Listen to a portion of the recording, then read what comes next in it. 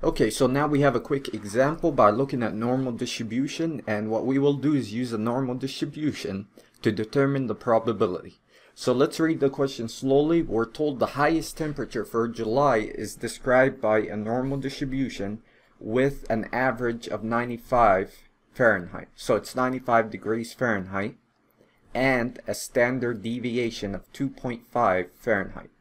The average is 95, the standard deviation is 2.5 for July, essentially in the summer. So we're told the probability that the high temperature will be between 90 Fahrenheit and 98 Fahrenheit is most nearly what? So this type of question is a normal distribution, but the key word here is between, right? We do not see greater than or less than, we see between. So we have a region that we're going to focus on between 90 Fahrenheit to 98 Fahrenheit. What is that probability of occurring using normal distribution? So that's what we want to find.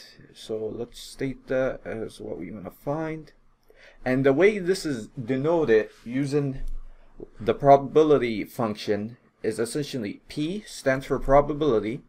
And what we're going to say is we're going to go from 90 degrees and it's going to be less than or equal to the x value and then we have 98 degrees. With respect to the x value it's to be what? Less than or equal to.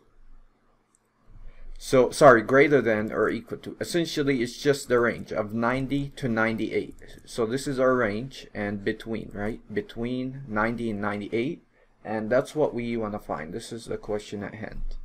So for what we're given is going to be the two values essentially, the average and the standard deviation, right? So let's write that as a given. So the average is, I'll denote it as mu. It's essentially the population average, the total average. So I'll denote that as mu given that certain sample size. Here, we're not told the sample size, but let's assume it's a high sample size. So we'll denote it by mu for the population average to be 95 degrees Fahrenheit. And we're also given the standard deviation, which is sigma, right? Sigma is the standard deviation. This variable is 2.5 degrees Fahrenheit.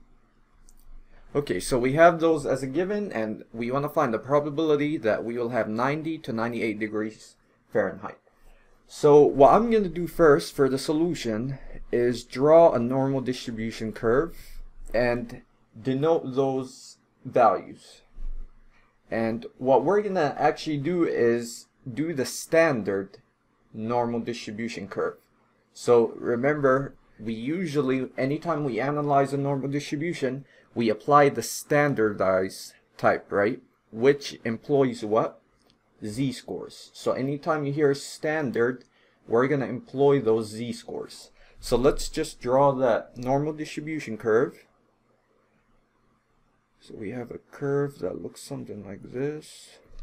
Well, it, it should be symmetric.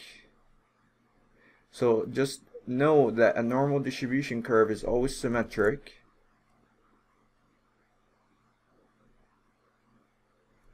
Okay, so we have that. And we know at the middle is going to be the average, which is the population, right? So this is our mu, and that equals to 95. And we know that at this mu, essentially we have that standard deviation, I'll just write that of 2.5.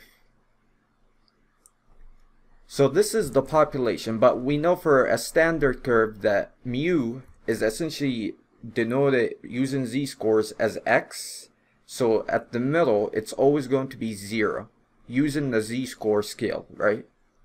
That equals to 0. And we can prove that by doing a z-score calculation, but I won't go into that. Just know using the z-score scale, x, which is essentially similar to the z-scores, is 0 at the middle, at the average.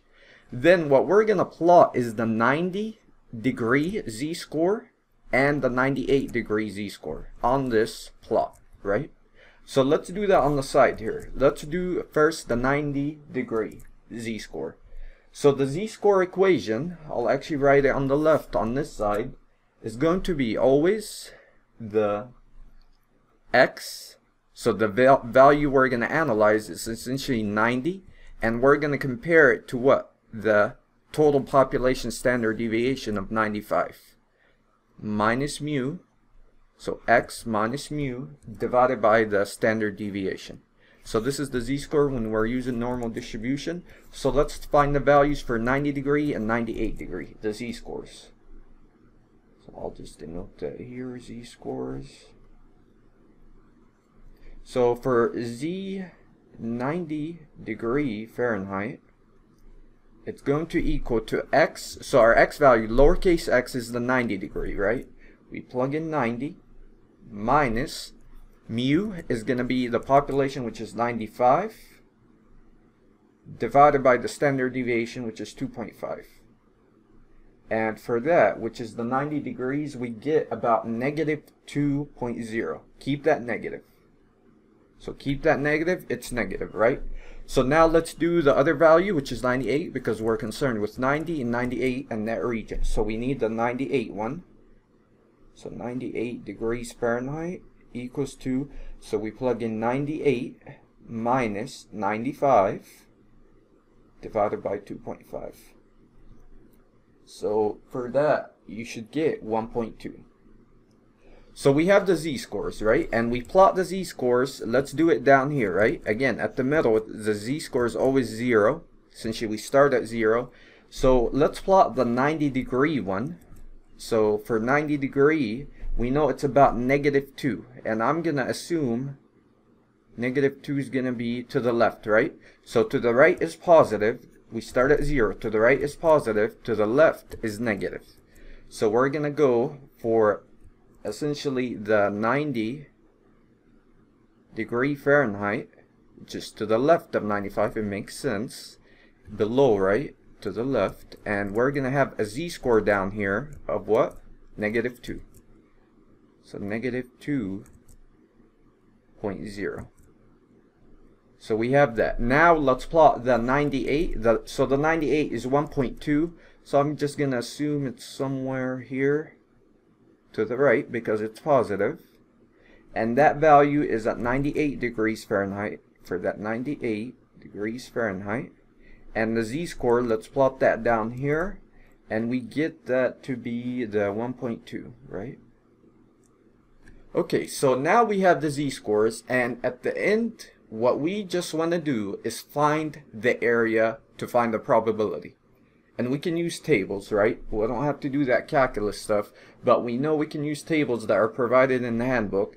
But the area that I'm concerned with, since we're told between between 90 Fahrenheit and 98 Fahrenheit is going to be between 90 and 98 is this region, right? This is the area that we want. This is the area that we want, and this will give us that probability. Will give us the probability, I'll just write it again, that we will have between 90 and 98. This region. So now the question that comes up is how do we find this area, this area in red, dashed red, to find that probability? So what we're going to do is actually use the tables provided in the handbook to find the areas. And it's not so simple in this case because we want this middle region, right? So what we're going to do and what I'm going to propose is to find a total area and subtract another respective total area. And the way this would look, what we're going to do, so I'll draw again our same curve. So we're going to say that we're going to take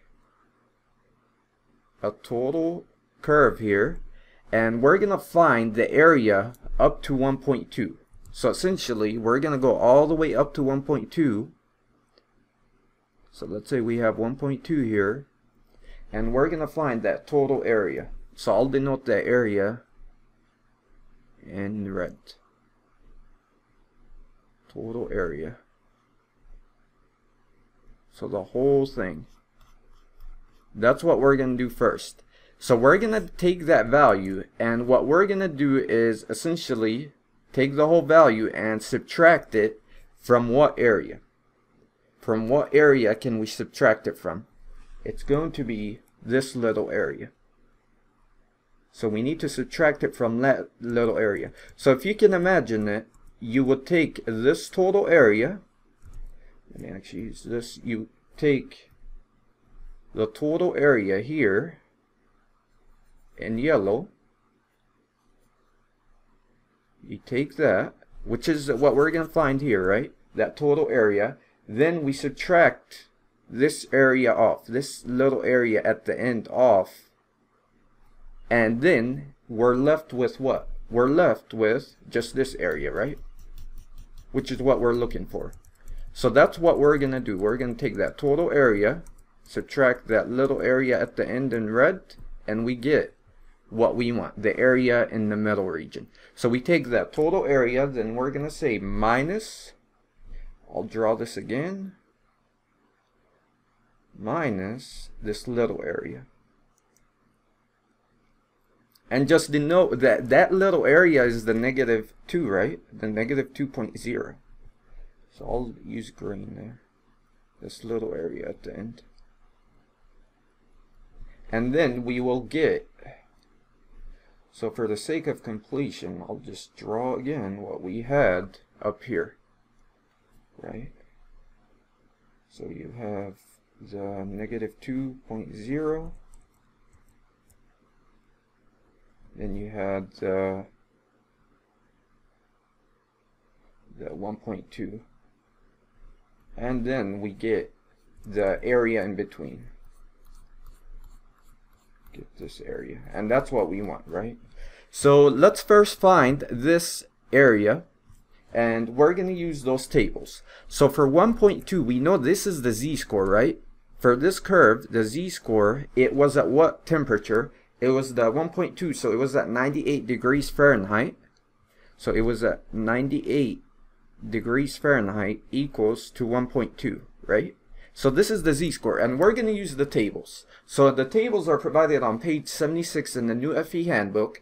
And just to know, I brought in just two columns here, and these are the two you will heavily focus on. And you really don't need all of what you're given in the handbook. Some people just use even just one, just the positive z-score. But we know I'll just use both of these here so in this case, we know this column, the x column, is simply the z-scores. So this column will be what we plot as the z-score. So it's denoted by x, but just know that's the z-score. And we know the first column, just note how this curve goes beyond the middle line, right? So this says it's going to be reading everything to the left, right?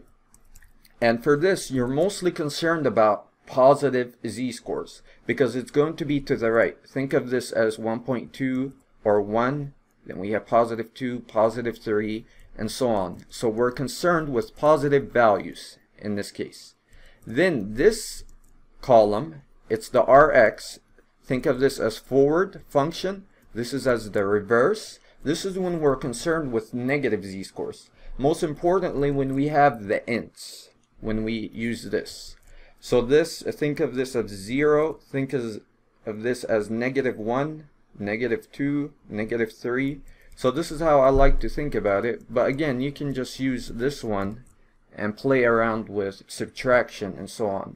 But let's focus first on this question. So let's do the 1.2. It's a positive value. And just note the handbook gives us data for positive values, right? For the z-scores. So what we're going to do, since it's a positive value, let's use the fx.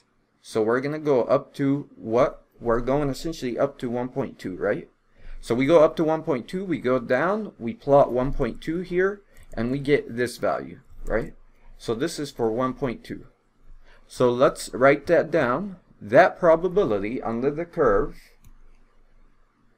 I'll call it fx equals to about 0 0.8849. So we have that. Now, we need the end now. We need the end. So the way you can simply get the end real quick, well actually sorry, you need the negative 2. So it's the negative 2, right? You can't use the 1.2. So that end is at negative 2, right? So the negative 2. So we have a negative value in that case.